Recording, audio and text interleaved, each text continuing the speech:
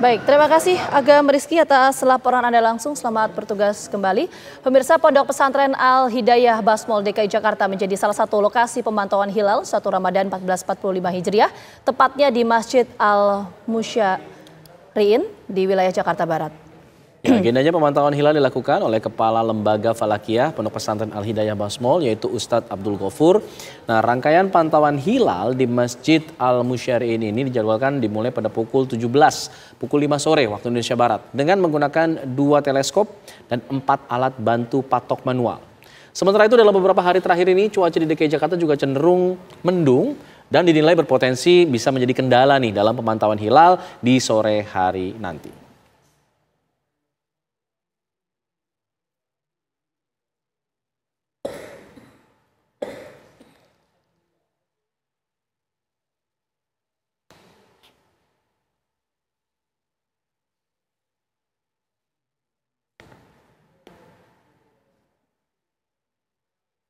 Lalu seperti apa kegiatan Rukiatul Hilal di Pondok Pesantren Al Hidayah Basmol Jakarta ini kita langsung tanyakan kepada rekan Tika Dewi di lokasi. Tika, informasi terbaru seperti apa di sana?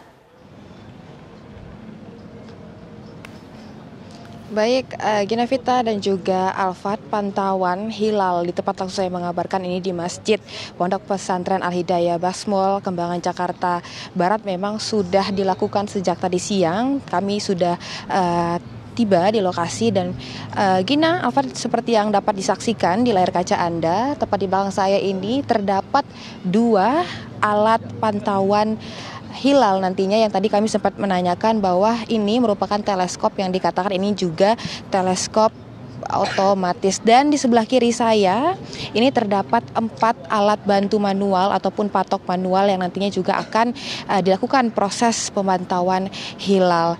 Dan memang untuk mengetahui bagaimana nanti proses uh, pemantauan hilal di uh, oleh pihak Pondok Pesantren Al Hidayah ini, langsung saja sudah bergabung dengan kita ini dengan Ustadz Abdul Gofur ya Ustadz ya benar ya.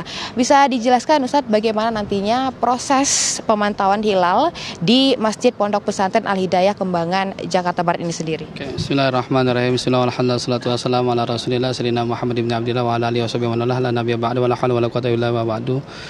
Proses pemantauan hilal di POB Masjid Jami Al Musarin yang Pondok Pesantren Al Hidayah Basmol ini kita sudah lakukan mulai tracking dari tadi siang untuk apa tracking matahari walaupun nanti pemantauan hilal itu baru bisa dikatakan memantau hilal itu setelah matahari terbenam atau gurup. Itulah titik start daripada pemantauan hilal. Berapa ketinggian derajatnya nanti insya Allah. Untuk alatnya sendiri seperti dua teleskop dan emang di sini itu terdapat empat ya alat bantu manual ya Ustadz ya. Itu boleh dijelaskan seperti apa nantinya uh, proses pemantauan hilal dari, dengan alat yang ada di sini. Untuk alat kami siapkan mulai dari yang manual sampai yang otomatis. Ini ada dua teleskop yang computerized yang sudah otomatis by system dan itu sudah kita arahkan. Pertama kita arahkan ke matahari, nanti setelah grup kita akan arahkan teleskop tersebut ke bulan atau ke hilal tersebut. Sedangkan alat yang otomatis ini ini adalah patok yang di mana kegunaannya adalah untuk mempatok di mana posisi terakhir matahari sebelum terbenam dikurangin daripada lamanya hilal di atas ufuk. Yang semua prosesnya adalah untuk mencari titik di mana posisi hilal. Ini proses pemantauan di pondok pesantren sendiri dilakukan sejak pukul berapa dan sampai kapan ini Ustaz?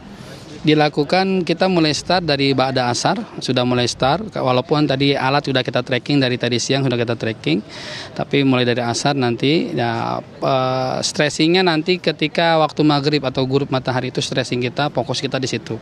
Apakah hilal dengan ketinggian 1 derajat 15 menit bisa terpantau atau tidak, Wallahu alam. Nanti kita akan sampaikan apa hasil daripada yang di sini. Terakhir Ustadz, untuk melihat ken, e, cuaca akhir-akhir di DKI Jakarta sendiri, apakah ini menjadi kendala dalam proses pemantauan hilal?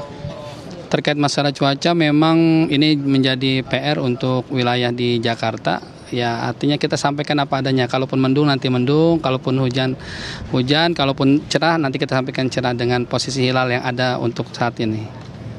Terima kasih Ustadz. Itulah tadi uh, pemirsa uh, proses pemantauan hilal di Masjid Pondok Pesantren Hidayah Kembangan Jakarta Barat dan nantinya ini proses akan dilakukan perkumpulan ataupun dihimpun yang akan dikumpulkan oleh Kementerian Agama. Demikian kembali ke studio Gina Alfat.